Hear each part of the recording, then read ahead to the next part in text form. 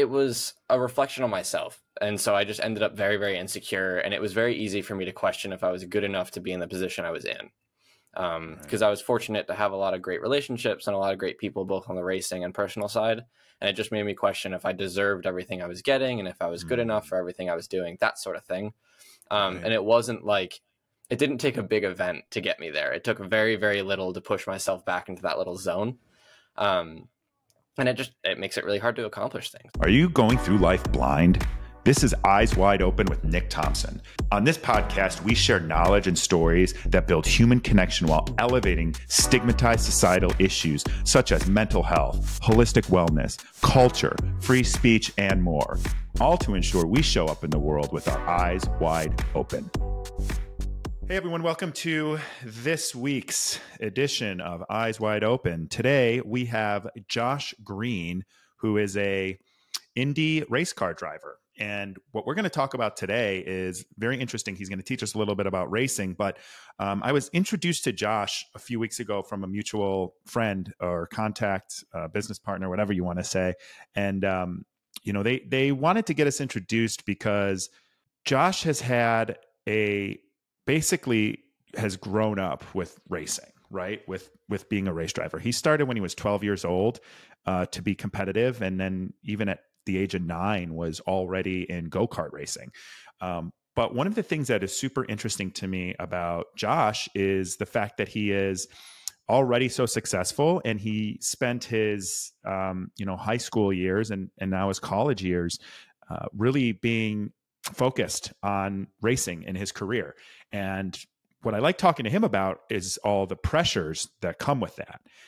When you're growing up and you're involved in school and you know have to have a social life and also spend all this time racing to the point where he was missing many days of schooling and many opportunities for socialization and the impacts that has on your mental health and your overall performance and wellness in life. So once I got to, to know Josh's story a little bit, I thought it'd be great to have him on the podcast so he can talk about what some of those pressures are like when you're, um, you know, growing up in, with the goal of becoming a professional racer, and when you're trying to go through school and you're trying to appease coaches and sponsorships and all the pressure that comes with that. So, so Josh and I are going to discuss what those pressures look like, what his experience growing up in racing has been like, and then also what are some of the things that he does to help keep his sanity, to help keep himself focused and not fall into um, you know any type of negative thought patterns if a performance doesn't go well or if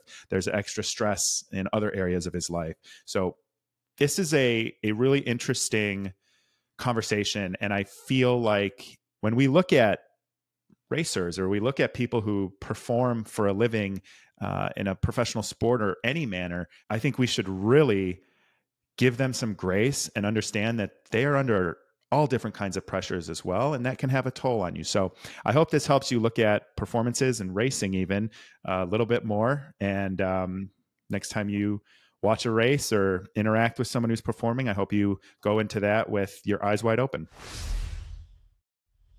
All right, today we have Josh Green as our guest. Josh is an esteemed racing driver and he is set to compete in the 2023 Indy NXT driving for HMD Sports with Dale Coyne Racing. He's already achieved 10 wins, 27 podiums, and seven pole positions in his career. Josh, thanks for coming on. How are you? Thanks so much for having me. I'm good. Yeah. Thanks for coming on today. It's going to be, uh, I think we're going to have a good combo. So I, I told you this before, but like I'm not super um, up to speed, I guess, on racing. Although, you know, I know last time we talked, it was about to, we were about to have NASCAR here in Chicago, which was a total disaster, as I'm sure you probably saw with yeah. with like the rainiest day we've ever had in the history of Chicago on the day yep. that the finals were supposed to be. So, um, why don't you tell us a little bit about yourself and and the type of racing you do, and maybe for those who don't know what pole and podiums means, I think everyone knows what wins mean, but it'd be great to hear what you do from your own words. Yeah, so so I'm a racing driver. Um, I race in what we call formula cars. So I think the majority of people have heard of Formula One. Um, it's sort of that style car, but in America. So the top level series in the U.S. is called IndyCar, which is really what I'm striving to get into. Um, I've been racing ever since I was 12 years old. Um, a lot of people in racing start when they're five or six. So It's mm. definitely one of those sports that starts from very, very young. Um, and so podiums are anyone who finishes in the top three. Everyone who finishes in the top three gets gets a trophy and gets to spray champagne. Um, and then pole positions are qualifying before the race. So we have a session before every race that's based on time. So whoever can do the mm. fastest lap time around the circuit will then start in that order for the race. So if you qualify on pole, you get to take a picture with a big check that you never get to cash in. so what, what's the check then? Is it just semantics? Photo? No, we get a small one after, right. but we don't get you know like you know they give out those show checks that are like massive, and you're like, look, there's like a hundred thousand dollars, and it's you know. No, well, now you, you can kind of do that through your phone anyway. So just step back a little further. yeah, we're waiting for someone to do that like online on right. a live stream. Just pick their phone up and be like, click. well, now now you know what to do next time you get one of those. exactly. Um, so I like to start all these the same way, um, and obviously you're still, um, you know, in in your your 21, I think, right? Your early 20. 20s, 20. Yeah. So what did so you started when you were 12? So pretty clear that you had interest in racing. What did you want to be prior to knowing you were going to be a racer, or has it always been that way? And how's that changed?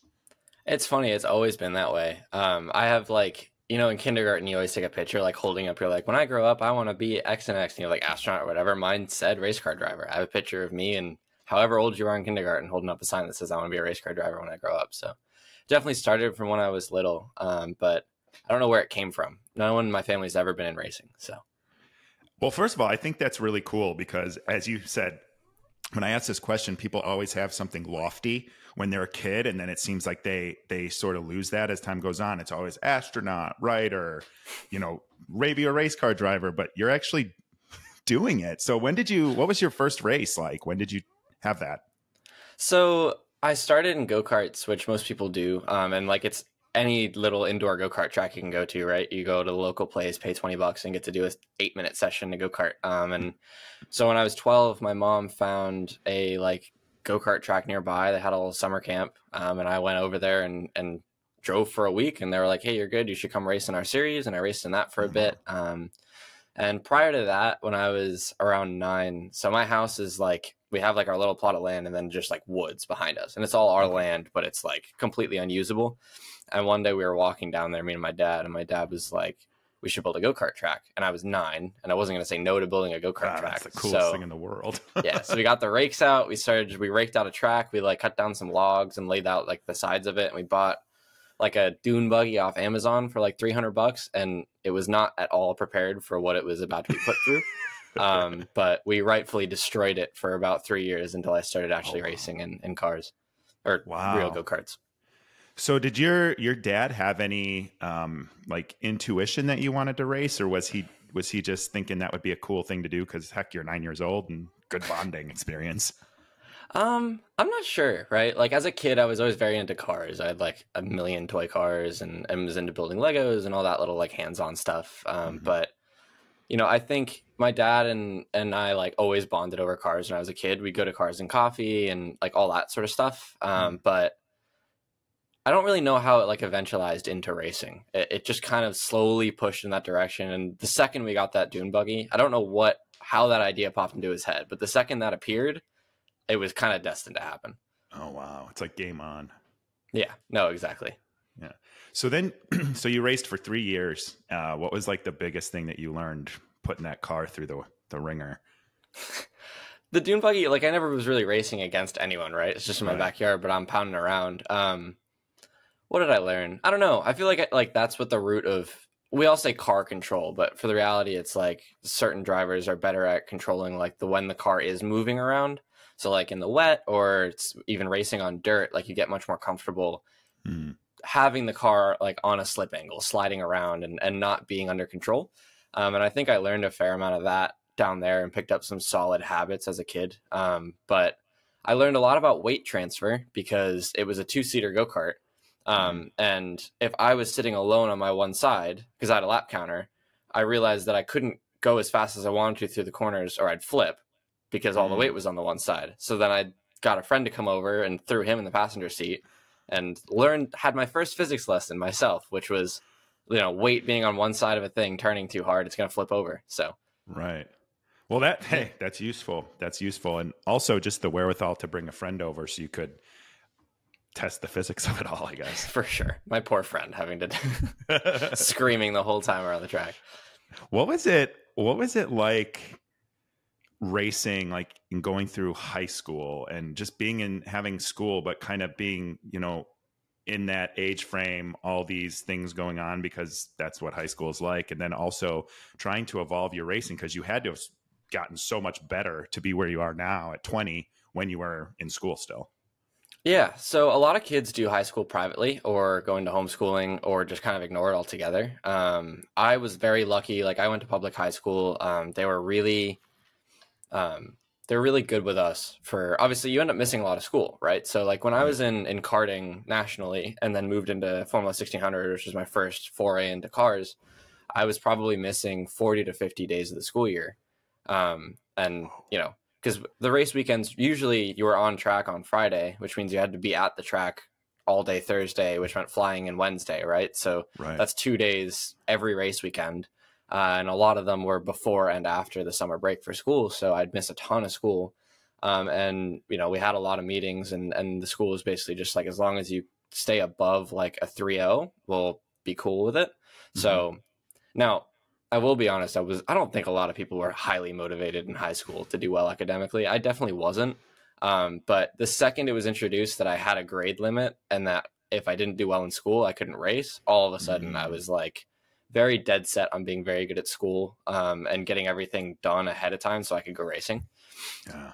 Uh, when it comes to developing racing, it was funny. Um, I forgot who it was. It was one of my friends, but at one point they came up to me and noticed that I was missing so much school, and they were like, "Like you must be really good at this." Like they suddenly realized, like, "Oh, you must be pretty good at racing because right. you're missing like half the school year to go do it." And I was Which like, at, oh, at that age, that. that's like everybody's priority is pretty much high yeah. school and socializing. Exactly. Because yeah. you're I mean, but that's what's in front of you, right? Like that's so and it was weird. Like I, I just had such different motivation from everyone in a way. Um, alienating a bit, um, because I missed a lot of school and like having friend groups and stuff at high school and I had a lot of friends at the racetrack. Um, and especially as you move through racing, you're hanging out with people who are a lot older than you mm-hmm. and you mm-hmm. grow to sort of be a lot more comfortable with I mean, even right now, like my girlfriend's in college and I'll go and hang out with all of her friends and stuff. And I definitely find it hard to like blend in with people my age a lot of the time. And I actually want to touch on that a little bit more. But beforehand, when you were missing those days in school, did you have to like do homeschooling or wherever you were traveling schooling? Yes and no. Less in high school than I do now because I'm going to college online now. Um, okay. And I have to do so much work. Like, there'll be times where I have a race that day and it's like 9 a.m. and I'm in the hotel room doing an exam or something like that, which is crazy. Right. Do you mind me asking what you're in school for? Mechanical engineering. Oh, makes sense. That's cool. Yeah. Typical for sure for what I'm doing. um, with high school, it was a lot more like, I think the teachers were a lot more lenient. I think a lot of mm-hmm. them, you know, there's there's definitely a range. There was the high school teachers who were like, we're super motivated that you're like out doing what you want to do, and like, and then there were the other high school teachers where it's like, I can't believe that you're focusing on anything other than school, and you're inevitably going to be a failure.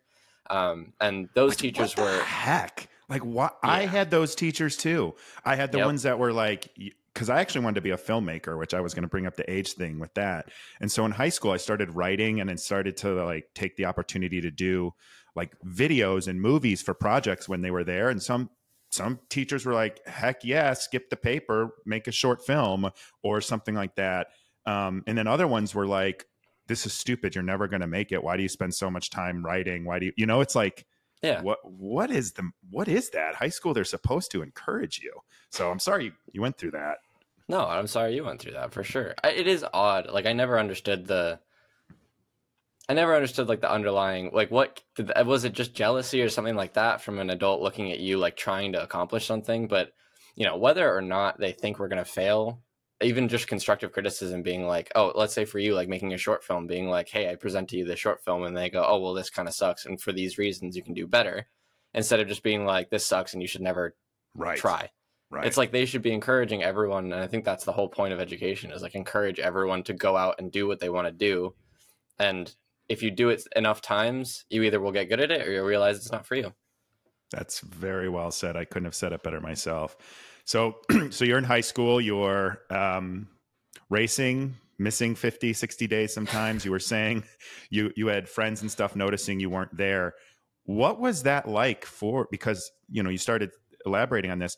You're spending time with older people um, and, and, just more experience. I don't even think it's it's age necessarily. That's a byproduct of experience, right? Or maybe experience is a byproduct of age. But however you want to look at it, how did you? Because socializing in high school is probably like I don't have many friends I went to high school with, but like at the I, I did for a long time, right? Yeah. And that was my group. So how was your social circle? How did you maintain friendships? How did you go through this crucial time in, in life for anyone to learn how to socialize and and you know come out in a in a positive way and have positive relationships? So I think one thing to sort of note with racing was I had a lot of friends at the racetrack, um, and those friends were some of the closest friends and people that I'll be friends with for my entire life. Um, and like that always stayed with you, and they're people I was always in contact with. Mm-hmm. Uh, and a lot of the friends that you meet, for example, like in the national karting scene, often follow you throughout the ranks as you move up through racing. So those people are like always familiar faces. That makes sense. But yeah. when it came to being back at home, um, it depended like on the year. I think sophomore and junior year, I was definitely a lot more comfortable just kind of doing my own thing because I was pretty heavily motivated to be good in school and having free time in school. I just spent getting my work done so I could go home mm-hmm. and you know, play on my simulator or like do something racing related and have my mind on that. Um, and then nearer to the end of junior year, I met who's my best friend now, who I hang out with all the time. His name's Dimitro, and he's like also super motivated in a lot of different ways. Um, and we just became very, very close. And then that just kind of was like the only real friend I needed at school was him, and we just hang out whenever and outside of school whenever I was home, and that was more than enough to kind of um, fulfill me when it came to like personal relationships. Right. Well, that's good. I mean, especially at that age to have someone that you build that friendship with where because you know like people they get I don't know if jealous is necessarily the right word, but when you're in that you know group of people when you're you know younger it's why are you doing this and not hanging out with us or with me or spending time with this relationship uh, or friendship? You know it's it's good that you were able to have that. I think that's awesome. And you guys are still friends now right? Oh yeah, absolutely. Yeah, we yeah, I mean, as as much as we can hang out with him being in college and me racing, but we yeah still are constantly in contact. So, That's I mean, great. We really forged like our friendship throughout COVID, and I know for most people, COVID was like a terrible, terrible thing, and it definitely was nationally. But oddly enough, for me, it was like it worked out really well. Um, yeah, my life got put on a pause, like everything, racing and school, uh, and then like in our hometown, no one would go out so me and Dimitri like would just spend every day together, like playing basketball and like watching sunsets and just doing our thing. And it was just like such a transformative year for me, like just learning how to be like a real human being. That's actually really interesting because you always hear, and you mentioned it, you always hear the opposite stories about COVID where people were more isolated, they lost friendships, marriages ended, relationships ended. And to hear that you were able to foster like what could be a lifelong friendship is really a nice outcome to hear for once when it comes to COVID. For sure. Yeah, I was very, very lucky for my situation there. First of all, how did you meet your girlfriend and what is that like? Because you're traveling, she's in school. How often do you see each other? How do you keep that connection? Because that that's hard when you can see each other every day and talk every day. And um, you know, you're you're in a bit of a unique situation. Yeah, definitely. Um, so a friend of mine, well, actually a friend of Dimitro's who I became mutual friends with, um, she lived around here, um, went to school and was in my grade. Um, she went to college with my current girlfriend, Katie, um, and then uh, brought her back to New York at one point, and we just kind of met there. I immediately took her out on a date, and we just kind of hit it off. Um, and then on a whim, they went to school in Colorado. On a whim, I just flew out to Colorado for a week just to go hang mm. out with hmm. her after going on one date, which definitely was out of pocket for sure. Um, but yeah, it ended up great and definitely have had a lot of rough patches with the like distance and stuff. Um, mm-hmm. but I mean, she goes to school in Colorado and lives in Wisconsin, and I live in New York. So there's no time where we're like overlapping. Like if no. we're seeing each other, it's a flight, right? I don't know. It's been great. Like I'll fly out to Colorado. I get to spend like two weeks training in Colorado, hanging out with her while she's in school. I'm in school too, so it kind of like functions correctly. And in a weird way, as much as it's like I'm super busy and I'm doing stuff, I'm also kind of extremely flexible Because if I'm not racing on a race weekend, my school is completely asynchronous, so I can be wherever I want Right. at any time. Um, so if if I'm not racing, I can just fly out there uh, and hang out. So it's it's been really great, and and it's good to have someone you know kind of like a rock in my life. Yeah. So is she back home in Wisconsin now for some summer? Yeah, for summer. Yeah, yeah, she's interning at Baird, so okay. Okay. Very Yeah. nice. So this is, um, you know, some of the the meat and potatoes I wanted to ask you about. Your so you're a professional athlete at 20 years old, which is not too unique, right? There's a lot of people that get professional in basketball, other sports, football, uh, relatively young. But what is the like? How do you stay sane? This is a lot. You're in school, so I, you know, just just as a frame of reference, I went to school full time while working full time. I went online as well because um, I had to put myself through school. So it was, you know, work full time Monday through Friday, Saturday and Sundays were schoolwork, homework, papers, all of that stuff, um, and you know, trying to maintain relationships with friends, with girlfriends, with family, all that stuff. It's a lot of pressure. It's a lot, and you don't have time. How do you like? What are some of the things you do to keep your sanity and focus? like you have to, and I'm sure you got into this as well. You have to get very good at compartmentalizing. Um, and there was a huge part of of learning to get very good at like the second I got home from a race weekend. Um, or I guess backtracking, like when I was younger and I first was in racing, both in go karting and when I was starting out in cars, my entire psyche was affected by the result that I had produced that weekend. So if I went to a race weekend and I was terrible all weekend or had a really bad race result, I came home and was just miserable for like weeks Mhm. until the next time I got a shot at it, which What did miserable Ruined- look like? Miserable just looks like unmotivated in a way. I mean, in a like, I just it was a reflection on myself, and so I just ended up very, very insecure, and it was very easy for me to question if I was good enough to be in the position I was in. Um, because I was fortunate to have a lot of great relationships and a lot of great people, both on the racing and personal side, and it just made me question if I deserved everything I was getting and if I was good Mm. enough for everything I was doing, that sort of thing. Um, Right. and it wasn't like it didn't take a big event to get me there. It took very, very little to push myself back into that little zone.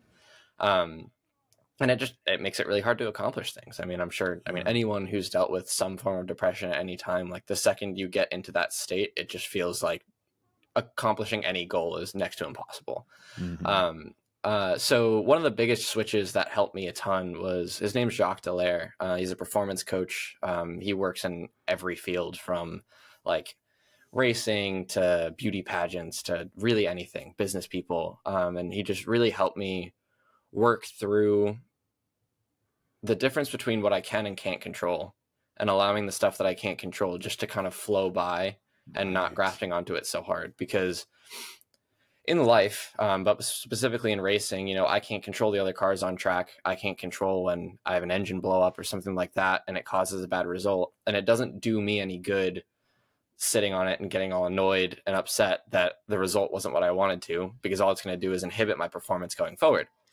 so he kind of obviously it all sounds very simple but i think the biggest thing he did was give me the keys to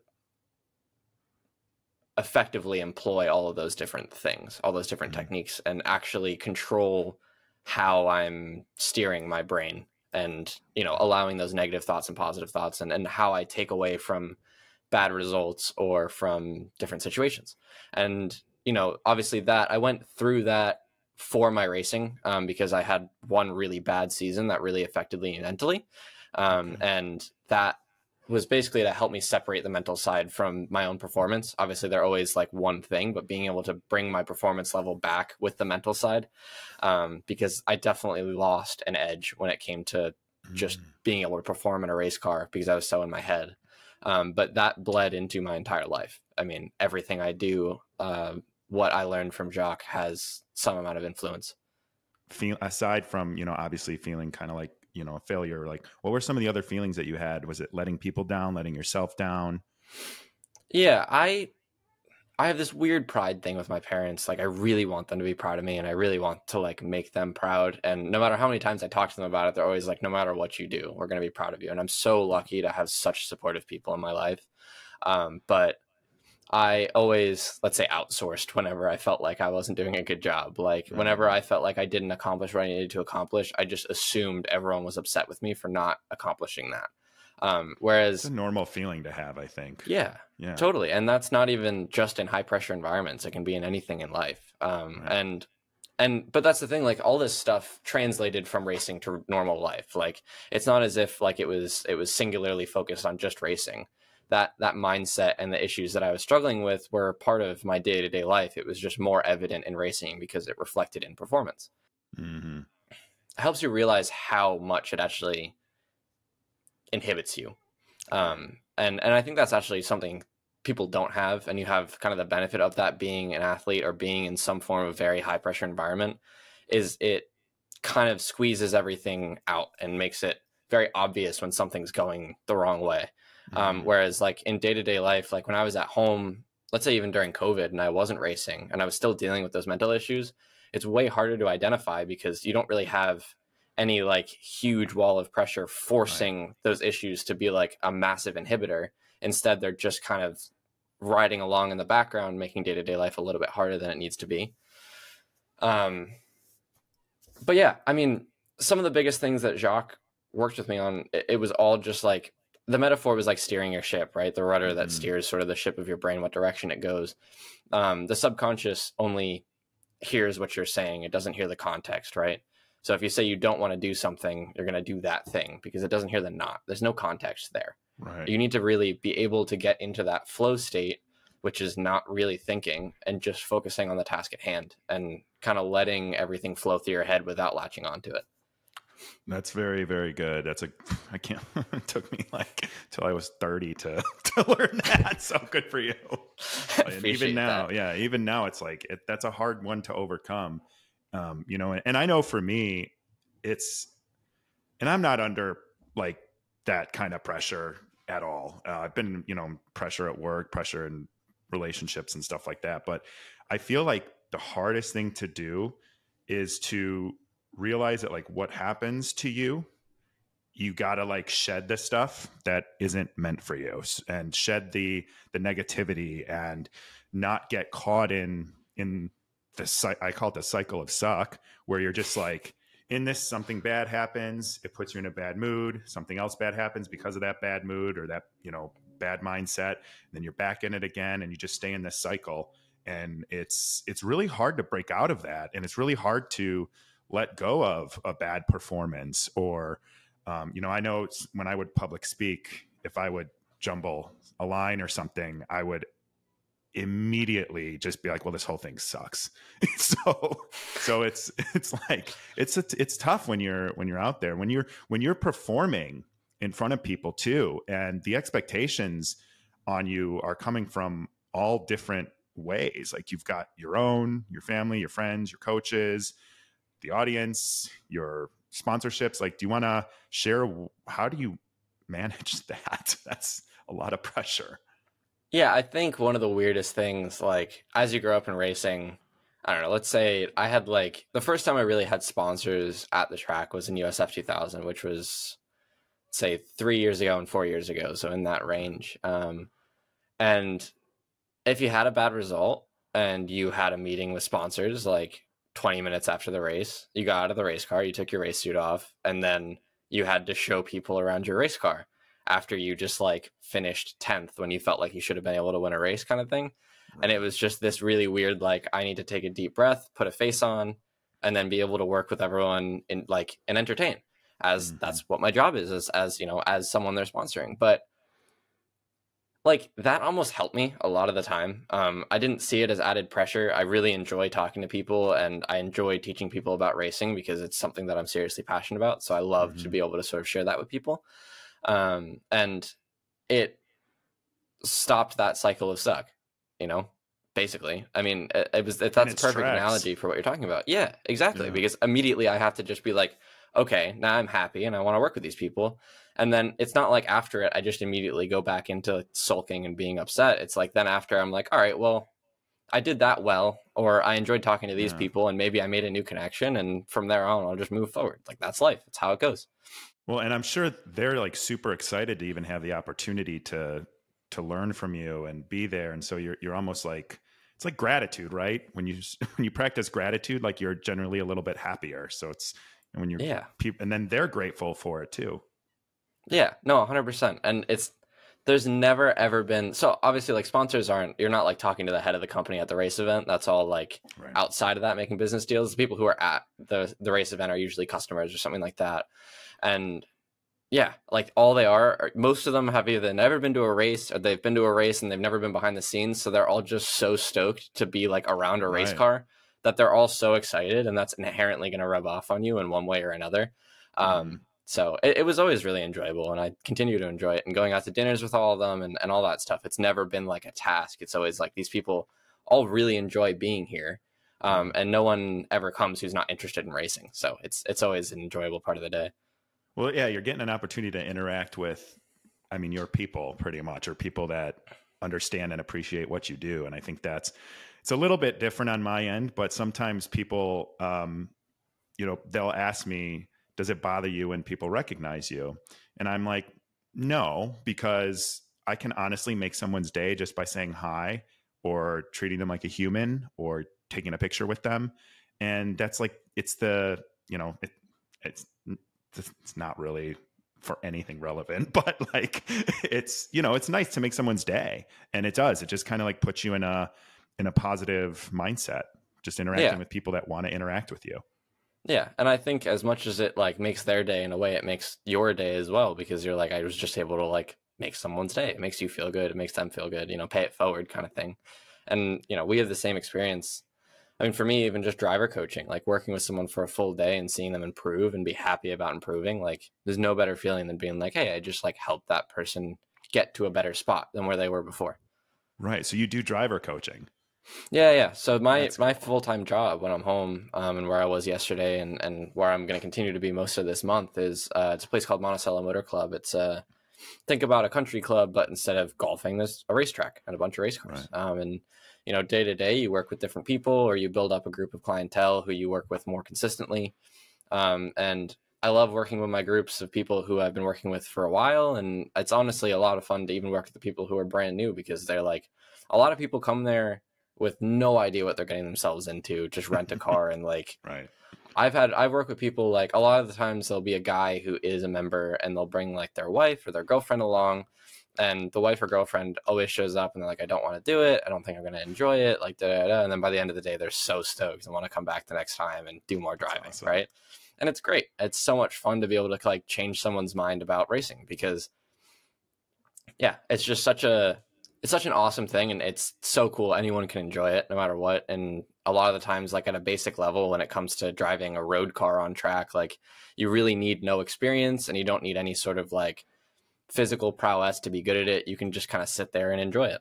I was actually going to ask you what would you say to someone who hasn't raced but maybe wants to try but you answered that already there? That's good. What is um like how what are the types of people you're coaching? Is it is it all ages? Is it people that are up and coming? It's really all ages and all like all mentalities, right? I have two kids who are under 20 um, who are both like racing Miatas trying to get into real racing. Um, I have some people who just do the racing at the club and enjoy that. Mm. And then there's a lot of people there who just bought a car and want to get it, drive it to the maximum that it can be driven. And that's why they bought that car and they just want to enjoy it and treat it a lot more like a country club where, mm. you know, not everyone at a golf country club is trying to go play in like some major game. They just want to yeah. hang out and play golf and drink and do their thing with their family. And a lot of the times it's the same experience at the club. That's fun. That's fun. So I, I want to touch again, um, since we never really did go back to different ages. So when I was filmmaking, um, my first year in college, and this was this was like such a weird thing for me, which is why I'm curious to get your experience. I so I, I, had like open auditions. I, so I made an independent study at school to make a movie. So I had open auditions, and I had people coming in that were 18, and I had people coming in that were like 50, and it was everywhere in between too. And so I ended up, you know, with this this casting crew of like 20 or 25 people to make this movie over the course of a semester, and I was like in the leader, right? I wrote the script, I was directing it, I was co-producing it with my best friend at the time and I just remember like the dynamic of of interacting with people that were in their 30s, 40s, maybe even 50s, and people that were my age. It really helped me first of all like realize age is a number. If you have something in common and you have you know any kind of of you know connection you can really be friends with anybody. So it at first it was super weird for me to be like oh these are my good friends and they're like 30s 40s and 50s and i'm 18 but it helped me sort of my friend group then got older naturally but it did. It sort of helped me develop like communication skills um, you know how to build connections with people because you're forced to. So what is and you alluded to it earlier and then i i had a hard time spending time with people that were like strictly my age that just wanted to party all the time that just wanted to go out and get drunk or or you know you, even at 21 like just go to clubs. And believe me i did some of that too but i'm not i'm not downplaying it. But you know i found myself having like much more um, you know friday nights at at denny's working on trying to crack the code for our next scene you know, until two, three in the morning. And I was like, I'd much rather do that in some instances. So I, I would imagine because you've had similar experiences, but what is it like when you're working with people and spending time with people, both professionally and casually, that are across the age spectrum? Um, for me, like obviously, a lot of the people that I'm working with who are older are all in racing, and mm-hmm. It's so easy to get along with people who are in racing because there's so many motorsports out there, and the people who are really in racing, not like I mean a lot of race fans as well, but the people who are actually competing, either drivers, engineers, mechanics, all that stuff, are just diehard race fans mm-hmm. at heart. That it's just so easy to get along with everyone because you always have something to talk about and people to make fun of and stuff like that, right? It was the same with the filmmaking. Like we wanted to talk about filmmaking, we want to talk about movies, and those don't have an age cap. Yeah, and you just have an endless stream of information to talk about. You could talk for hours and hours and hours. Um, and a lot of the times I really got along with engineers because I'm very interested in it. Um, and I really like love that side of racing. I think it's really interesting, like the way different people can find different solutions to the same problem. Um, and the exact same thing in filmmaking. Like there's a million different filmmakers out there and uh, every film's different obviously they're not all identical and there's just a million different solutions to certain problems. Um, and yeah. and that's what you continue to figure out as you move throughout racing and as cars get more complex same thing but going off track there. Um, when it came to people my age um, it was limited with the amount that i hung out with people. Um, i didn't have a ton of time to a and b i wasn't super interested in working hard to make those relationships happen as kind of convoluted as that sounds i was yeah i, I didn't this sounds really cliche but like i didn't fit in it was just more like i was differently motivated um and like i think i went to one high school party in my entirety of high school and i've never been to a club or a bar at this point like other than like to eat food right. um right, right. I'm just very diehard on making it in racing. Um, and also part of being an athlete kind of comes into the like not drinking, not doing drugs yeah. thing. Like that's definitely a part of it. I know a lot of people who do and a lot of people who don't. I can't specifically say it inhibits performance, but I also don't want to find out in a way. Um, and I don't really have any crazy interest in it. So I, I, get along really well with a lot of my friends who are very motivated towards a goal, um, mm-hmm. who are trying to reach towards something even if it's different than racing because oh, you yeah. have that commonality that hey i'm working towards something. Exactly. Um, and i think also as my friends have grown up, grown up and gotten into college i've actually made like remade friends with a lot of my friends who i was friends with in high school. That was a mouthful. Um, a lot of people who i was friends with in high school i'm now friends with again after yes. like a three or four year age gap of not talking. Um, because suddenly like I, one of my closest friends lives down the street jeremy um, and you know now he's getting into investment banking. He's really interested on being on that side of things, and he's working really, really hard towards a goal. Uh, and then suddenly we met back up, and we were just very similarly motivated. Um, and I think that's common throughout anyone who like has a goal that they're striving for and they're devoting themselves to. You just end up you know having a lot of very productive and forward facing conversations and learning a lot from each other and that's yeah. what i'm interested in doing from friends i have to tell you like you're so mentally you're so far ahead of like anyone.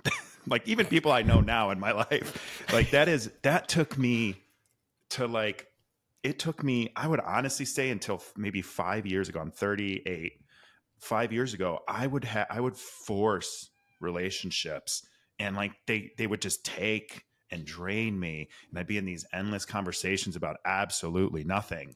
And just you know drama and ironically you know being on a reality tv show i, I don't like drama. Like i don't i don't like i, I want to talk about ideas. I want to talk about you know um, filmmaking back in the day or or you know whatever this stuff now like how people really are as human beings because that's what matters. And you don't have to be for everybody and everybody's not for you. And when you start like looking inward to figure out here's the kind of person i am here's how i want to show up in the world and you you hold other people to that that account too and that standard and you you put boundaries up for those that aren't and all of a sudden you just start you know i say it again shedding the people that aren't for you. And then all of a sudden you're in your right group of people and you're getting stimulating conversations and you're building meaningful relationships and meaningful connections and all of a sudden like you're not being dragged down anymore and that doesn't mean you can't have people in your life that you that you you know keep at an arm's distance away or keep as acquaintances that's totally fine but you're like at this place already where you already know like who your people are and i think that's awesome to see it's clear you've done a lot of work to to get to that point too so yeah, you for that.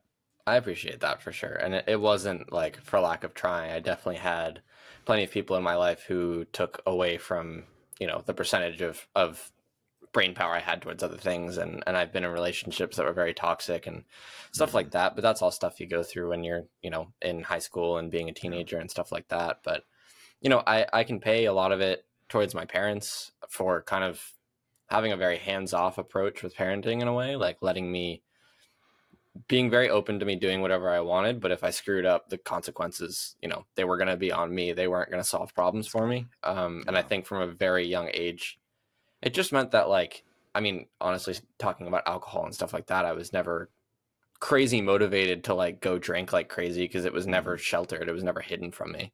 Right. Like when my parents would mm. drink, I would like take a sip of wine or something like that. And I wasn't getting drunk, but it just meant that like it was always kind of a part of my life. So it wasn't anything new when all of a sudden all my friends started drinking. Right. Um, and that also wasn't like we were a board game group of friends. We weren't a drinking group of friends, you know, like we just kind of hung out and chatted, played video games and whatever. It was never like this group of friends who were like, yeah, let's go party or anything like that. Like that was the people who I hung out with were never that way. Um, and I don't think I'll ever really turn out to be that way. It's just like not what I enjoy. And I think a lot of that mm. comes from also just being introverted. Like I was going to ask you if you were introverted. Yeah, I kind of sensed it. Yeah. For sure. I'm not I'm not the type of person who's going to go to a party and like be super pumped to see like hundreds of people. Like I'm yeah. very content with like a group of 5 people or 3 people just like chatting and talking about stuff more intently. Yeah. That's so true. I always say I have 6 friends and I don't really need to to meander out besides them unless someone is super intriguing and you know bring bring into your life. But um i think yeah i'm introverted too. And and you say you were board games. I was movies. Like we would just go see movies every friday and saturday. And um you know then i would go by myself on sundays. And it would just be this like cool thing where like i said we'd be at denny's you know working trying to crack the code of our next project until two three in the morning. And and you know that was much more relevant to me at that time to spend time doing that stuff that was like stimulating me uh, instead of being out with you know and i knew people that would party every weekend. I knew people that would sometimes but i really felt like the most complete like I, when i was you know challenging my brain to to you know think about big ideas for sure and you know i don't i don't have any hatred towards anyone who like does go out and party i totally understand that concept for sure it's it's just more what I enjoy doing and in a different direction, right? Um, plenty of people who go to clubs every weekend end up being extremely successful in plenty of different outcomes. But yeah, I mean, I love that too. And I was, I've always been into photography and videography. I have like, I don't know, 15 cameras sitting lined up across up here, oh, right above my desk. Um, and yeah, I've always been super into that side of things. So I definitely get it. I love the creative side of mostly photography for me. And it's just so cool to, yeah, talk to someone who's similarly minded. Yeah. Do you have a specific type of um, photography you enjoy? Is it like landscapes, portraits, or just anything? Um, it ranges. I mean, for a long time, I shot sports. Um, shot a lot of mm. racing for a bit. Um, I did that, you know, professionally, which just means I was paid to do it. Um, but I, I did that sort of thing, and really now it's kind of what I have on me. I usually have a 35 mil film camera, like always in my bag, just to shoot That's stuff so cool. at race events or whenever I'm traveling. Um, but I'm trying to get more into video film stuff. I have a lot of Super 8 cameras. Um, so my my grandpa, my dad's dad was like super super into photography and videography. Um, and I have well, all of this is all of his old cameras plus a couple that I've added to the collection, and they all work after a bit of my finagling perfectly fine. Um, so the biggest issue is a buying film because it's so expensive now, and b getting it developed. Like Isn't Kodak like the only one that makes Yep. 35 millimeter now? Yeah. Uh, Fuji's still making 35 Or mil, Fuji, but when it comes to uh, video format film, like there's nothing. Super 8, Kodak still makes Super 8, but it's like 50 bucks a roll, and then it's Isn't it like, seven minutes too? Isn't a roll just seven minutes or something? three and a half. Three and a half. Okay. I knew it was Yeah. short.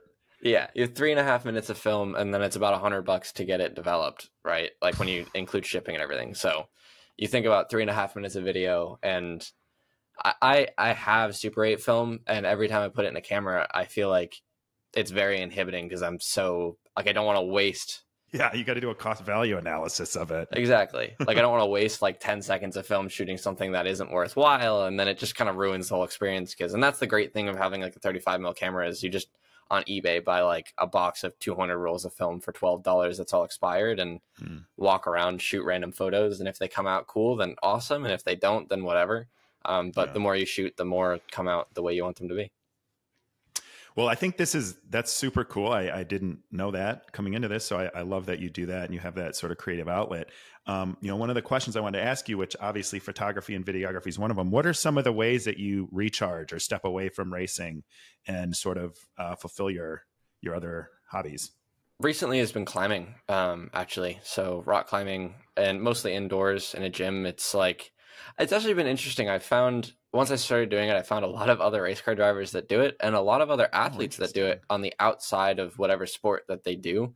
Because a it's obviously like it's a very physical thing um and it's an easy way to train because it doesn't feel like training um but it takes so much brain power and it's just solving puzzle after puzzle and Mm, there's a million different ways to solve every little puzzle um, as well as it's another way to get I, I don't like i say relationship with failure but that's not really what it is like mhm. there are times when you go to the climbing gym and you're like oh i feel really strong today and you can just be horrible all day and have no idea why it sucked so bad and another time you can go and all of a sudden everything that felt impossible feels super easy um, and that's the coolest thing like being able to show up to a gym and leave knowing all right i tried my hardest and maybe i didn't accomplish anything but Right. i did what i could and that's not something that we get outside of the climbing gym right? Because in racing Right. like if i show up to a weekend and i sucked i can't just go to like my sponsor or the team and be like i tried my best. Like that's not Yeah. enough right? That's not the they don't really care. Um so it's cool to have that like ability to be very comfortable with not completing your your set out goal um and and working towards something. Sometimes too I, I i go to the gym. I don't rock climb. I'm not that strong. But i go to the i go to the gym and sometimes it's like the worst workout ever. But i'm like hey stayed in the habit came that's something so Yeah. That's all it takes. Yeah. Like, and I like every single athlete has the exact same mentality. And the if you watch one of those like Instagram videos where they're like, "Oh, look at my daily routine. Like, this is what I do every day." All of that's a farce. Like, it's so so hard to stay in that routine, right? I'm supposed to be well. I train six days a week. I climb usually three of those six days just to stay physically fit to be good Yeah. enough in a race car. Um, and it's never easy. It's never going to be easy. It's not like there's any time. I mean, there are days where I'm like psyched to go to the gym, but uh-huh. majority of the days I'm like, I don't want to do this. I have no interest. And, you know, even if I can't complete fully my set out workout for the day, I make it a point to just go, I'm going to go to the gym. And if I can't complete a full workout, that's fine. At least I went and kept in the habit and allowed it to keep going. And yeah, I think that's an important thing to have for everyone is like get pressure off of I need to go spend two hours at the gym or else it's not worth going kind of thing. Right. I totally get that. Um, so I know I asked you this last time we talked, but that poster behind you, the Halloween one, big Halloween fan right here. It's it's, it's actually the movie that inspired me to want to film make. So it was um I saw it when I so my dad, my parents were divorced, and my dad used to take us to the video store. And once my sisters would go to bed, they were a little younger. Like I could always pick out a horror movie to watch because he would love me to watch them there and then go home to my mom and be scared shitless.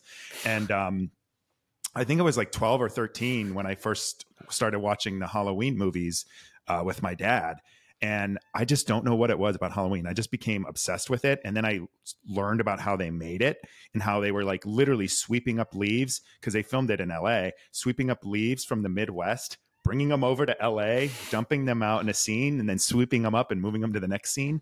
And I just thought, like, man, I could do that. And um, anyway, so I love the poster. What, tell us about it. Oh, so so this poster this came from from the girlfriend actually. Um, in their previous apartment, at some point they were friends with someone who uh, worked in an art studio, and they had all of these like crazy posters that were all hung up. The art studio was closing, and they just gave them to to Katie and, and the friend that introduced me to Katie. Um, and that is two of them, and a bunch of the other ones are still in their possession at the house they live in now. That's cool. Very cool. I love it. So, have you seen Halloween? I haven't. You haven't? Okay. I haven't. No. Do you well, like now scary I need to watch movies? It. Um, I can be persuaded. I don't. Okay. I wouldn't say it's like my number one genre, but I can be persuaded. What is your number one genre? I. I don't know. I don't know how to do genres when it comes to films. I have like favorite films, but Yeah, let's hear those just for fun. um, I think number one's Donnie Darko for me. uh, Donnie Darko inspired my second movie that I Yeah? ever made. Yeah, That's awesome. love that movie. Yeah, I love Donnie Darko. I think there's, I mean, the word isn't lore, but there's just so much behind it and so many interesting things to talk about when finishing it. And I think the first time I watched it, I definitely was like, I have no idea what's going on, but it's really cool. And then eventually you go back to it and you're like, all right, now I'm starting to get there. Yeah. Um, I think the original Blade Runner is up there Mhm. for me. Just Good. such a beautiful, yeah. And I mean, even the new one is also just so beautiful, so well put together, shot wise. Um, Grand Budapest Hotel, that's up there. Comedy. It's a good one too. also, just really pretty. I mean, Wes Anderson and all the colors that he's, yeah, his color palettes are so cool. Yeah, it's so cool. I I love his movies, but it is it's the color palettes, the way they're shot. It's they're so like each one has like its own unique personality, even though they're all kind of similar. And I I love Yeah. that about Wes Anderson films. hundred percent. And eh, but it is just the shots, like the way that they're formatted and the colors of the the color palette throughout it. Like he creates so much humor in like regardless of dialogue or the characters that are in the scene, just in like the shot length and the way it's it's framed Yeah, can make its own amount of comedy and, and yeah, it's so cool. That's how I feel about the Coen brothers too. Like Fargo, yeah. I don't know if you've seen any of those. Their their movies, the way they frame things up and the way they just kind of let the camera sit a little bit longer than you would think they would, and you just Yeah. capture like these moments that almost seem like they're candid moments. Um, it's yeah, great. The way of the way a film is shot is so much more important than people think, and Yeah. and I think it takes such a creative eye to do that. hundred percent. And for the most part, it's really easy for it to go over your head because obviously you're just watching it and it's like, oh well, of course, like it's intuitive that it's framed that way, but it's not intuitive when you're starting from nothing being there and creating a set. Like obviously, once the set's creative, it, created, it's a bit more intuitive to go, okay, we need to sort of frame this in this way. But before, from the ground up, it's crazy how much it takes to get from an empty blank room to a movie set. Yeah. Even even if you're on location, just setting it up, it, it's a whole whole different beast to to get your set, whether it's real life or built from scratch. It's it's it's an art. It's an art. It's the reason we have set designers. Yeah, for sure. Cool. So um, before we finish up here, I wanted to give you an opportunity to ask me anything that may be you're curious about me or my experience or anything. Really, I'm an open book. Yeah, I think now that we've talked this whole time, I'm interested. So, what was the motivation to get onto reality TV? Um, ooh. So there wasn't really motivation at first. I never really consumed reality TV. Um, I had watched one season of The Bachelor, which I've said that multiple times. But um, for me, they actually reached out to me on LinkedIn, and I went back after that and watched season one because I had heard of it. Everybody had watched Love Is Blind during COVID because it came out right before lockdowns, and so everyone was talking about it, and it just wasn't my thing. And when I went back and watched it, I was like, "Oh, this is actually kind of interesting. People seem genuine." um, I could see how you know this could work. Like you just get to know someone based on what you talk about and their personality and not see them. And I thought to myself, okay, maybe this could work. And then the next thing I know, I'm there. And then shortly after that, I'm married. So it's like very much so this. Um, so yeah, you, you know, going on one date with your girlfriend and then flying to Colorado. I got married in seven weeks to someone that I met without seeing. So no judgment there. Things happen, they happen. but uh, yeah, it was just very, it was a very, it's very surreal when I think about it. I, I say I sleepwalked into it because I just, I had never, it would never have crossed my radar really. I mean, I had some friends that tried to get me to um, try out to be the bachelor a number of years ago. Uh, and it, it just, I was just like, it's just not my like realm. I don't, you know, I'm not really into what like people do and say. I'm more into like people's ideas and you know what's the big picture here or what's really going on here or why are people thinking this way and stuff like that um so it isn't it, it's just so out of my wheelhouse and i feel like i just kind of sleepwalked into it because I thought, oh, I like the concept after watching it. I think it could work. It addresses all my criticisms of dating and people not taking time to get to know each other and being superficial. And, um, you know, I wasn't on dating apps anymore for a while. And it was just, just seemed kind of like, I don't know, intuitive to start it. It felt like, okay, this is a good idea. And then all of a sudden I was there. yeah, that's interesting. Just because yeah. from speaking to you, it doesn't sound like I guess Love is Blind is somewhat different, but like it doesn't sound like he would have ended up in reality TV in any format. Like it, yeah, mm. for sure. So it's very interesting. Um, and then, did you have any motivation to like become famous? Was there any motivation? Did you have interest in becoming famous? So here's the the interesting thing about that is I was voted in eighth grade, and I went to a small Catholic school, so it was 18 of us graduating. I think I was voted most likely to be famous but I was going to be famous because when I was a young younger, and you know, I went to school with these people from second grade to eighth grade, all 18 of them. So we we all grew up together a little bit. And I wanted to be a WWE wrestler when I was a kid. That was like my first aspiration from like two, three years old. Um, and then hmm. the filmmaking part. And then I also had like political desires to be president. Like I would always I would dress up as a president for Halloween. I would I just wanted to be the president. But if the theme here is like from being a screenwriter and a director, a professional wrestler, kinda, but um, president, it was all these things that were going to be for my ideas, not for me. So the unique thing was I I didn't have any desires to like be famous, but I if I was going to be famous, it was going to be for my ideas.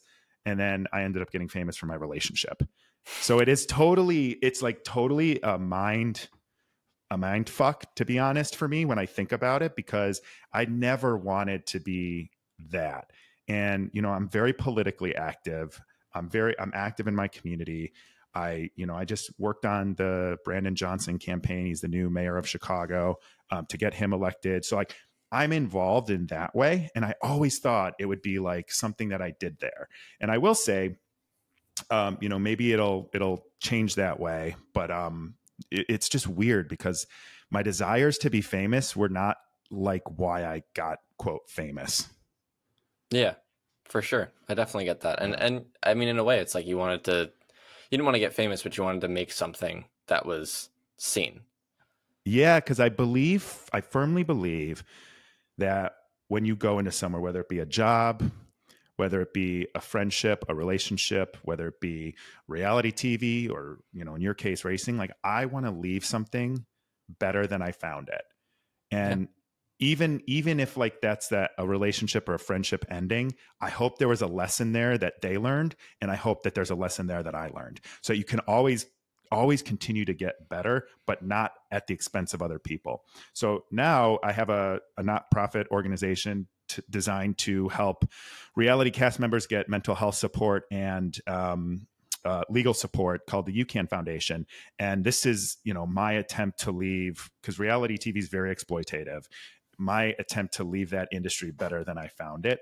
And so, you know, I don't want, I want to say I want to get like famous for that, but I think that's more in my wheelhouse of of actually like making a difference and and getting my hands dirty doing that.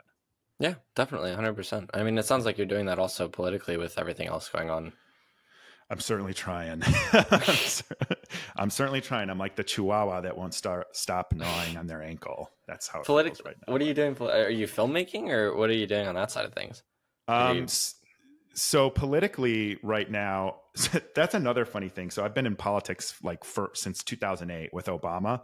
That was when I first got involved, and um, people tell me like on social media, like, stay in your lane, reality star. Stop talking about politics. What are you, a That's- Trumper?